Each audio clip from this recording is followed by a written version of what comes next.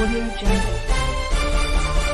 वालेकुम। इस समय की ताज़ा खबर से आगाह करते चलें कि अमेरिका में कपिल शर्मा को अपना लाइव शो क्यों मुलतवी करना पड़ा सारी हकीकत सामने आ गई।